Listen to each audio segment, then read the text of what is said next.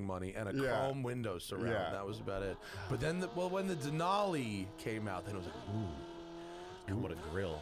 it's got a grill and a Like body nicer kit. wheels or It's got a something. grill and a body kit. Yeah, 'cause Everyone where You I know grew you up. want a body kit on your truck. That's a mandatory thing that you need to have. That's why I have a Mansory G wagon on order. My, I was at, I go to like PT, and this guy was complaining. I, I, I'm kind of known for being the car guy at my PT place because I'm always pulling up in a fucking press car or something. Yeah. And this one guy was like, I went to order a G wagon, and they wanted a hundred thousand dollars over. Can you believe it? And I go, yes. Like you are already paying the D bag tax for this. It does Yeah. nothing better than anything else on the road. It's And a if you- glorified Jeep Wrangler. if you must have it, they are putting the D bag tax right on that thing. You know, I just learned the loophole of G wagons because I always like, you know, you drive through like LA and you're in like Burbank and you're like, yo, how does everyone here have a G63? Like 300 grand. yeah. And then I realized it's the commercial tax. Yeah, thing. it's the commercial taxing. so if you own a business, you buy Yeah. a G wagon, you can write it off. And I bro. was like, straight chicken tax, bro. Shit. America. yeah, I didn't know that. Yeah, the TRX is so heavy you can write it off twice. no, I just made that oh, up. Yeah. You can write off two hundred percent because it's so heavy. this is such an obnoxious vehicle. Yeah. You could write it off twice. Yeah. Uh, how did you end up at Hoonigan? I just remember one day you were just there on videos. How did they find you? Or where did you Um, find them? So actually, it's a really long and convoluted story, but I'm going to make it as Long quick as format radio. This is meant for this. possible. Okay, I thought we had a strict one hour, so it's like, all right. Um, so Alex Bernstein, Oh yeah. you're bu- you know him. yes. So, Photographer. Very talented. Yeah, now he's a still still a photographer. Now he's a time attack racer. Also, he's been building BMWs. Um, he's like one of my closest friends. So, uh, this dude I knew was in Brian Scotto's car club when he had Auto Creek, which was like a Volkswagen car club Oh, back really? in the day.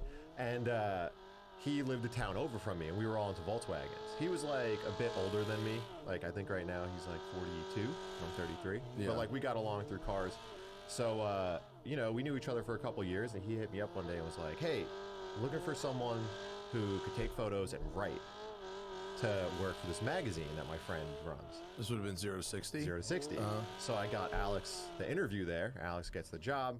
So then he hangs out with like Ron and Matt Tasillo and Scotto and Tony Spinelli. Harmer. was Spinelli was a zero to Yeah, sixty. Andrew also. Link. Yeah. Um, who, I feel so like many everyone people was there. fucking were at zero to sixty. or like Harris in general. You Yeah. know? Um, so I would always hang out with those guys and got to know them. We'd go party in the city and stuff because I lived in New York back then.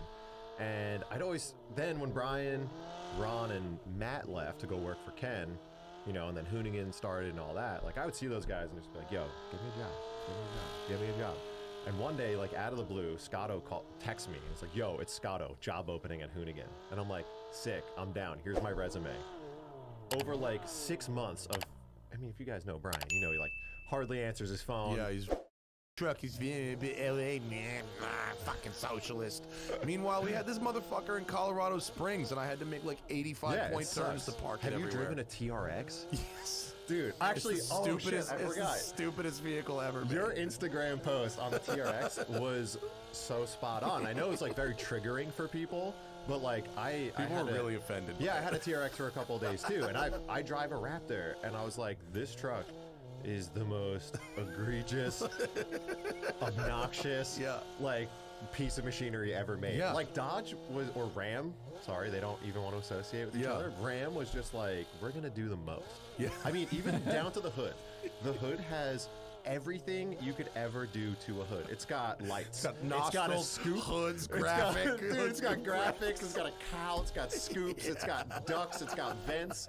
Like anything you could ever put on a hood that's ever been on a hood before, they were like, we're doing it all. actually really funny. We're doing The it hood all. Look the at hood it has next time. everything. Yo, it has every drop down box. Yeah. They're like checking it. And I wrote, I was like, look, this thing is massively capable. Like, you can fucking huck it off a sand dune. Like, good. Congratulations. At the same time, it's so offensive to our heating planet. Dude, we drove it. We drove it to San Luis Obispo, and not only does the OEM exhaust drone like you put like a crazy aftermarket exhaust on, but we had to stop for gas like three times. Yes. And you're like, holy crap! This car comes from the factory getting single digit MPG. Yeah. like. and they're like, yeehaw, motherfucker. yeah. I, I have a lot of respect for FCA though for doing it. I you mean. I the the Hellcat everything strategy is a uh, is a real good distraction for not investing in technology at all. They're like, listen, we don't have the Yeah. money to develop things, so we're just gonna drop this fucking seven hundred. Which is funny because you know who did that two decades ago? Mercedes. Chevrolet. Remember Oh, yeah. Mm-hmm. when they were putting like Corvette engines and everything, and they had like the Trailblazer SS and the um, what, the Impala SS. Yeah. And they had the Corvette, and the HHR, all that Camaro, other and like weird all that stuff. LS. Yeah, all they were L, putting the LSs all and LS everything. club. And now Chevy is just kind of asleep at the wheel. We don't know what they're doing. Oh, you don't like the Escalade V? You don't think that's Or the Blazer, the new Blazer.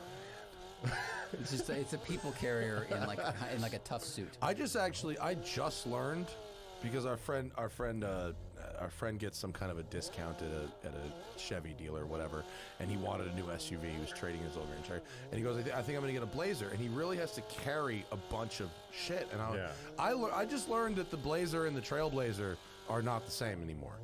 They make two of You know, them, they make- basically the same type of thing. They're thing. different sizes. Oh, One is like the size of a Ford Escape, and one is the size of a Ford Explorer. Like they're, Okay. but they, they they both have Blazer in them, and they're two different vehicles. Well, GM, I didn't know this. GM's always been kind of crazy with that. I mean, my dad worked for a Chevy dealership when I was growing up, so he used to get demo cars Mm-hmm. for like all the brands. And I remember it'd be like Oldsmobile, uh, GMC, like yeah, like yeah. they all made the same exact Yeah. car with like very minor differences Yeah. in it.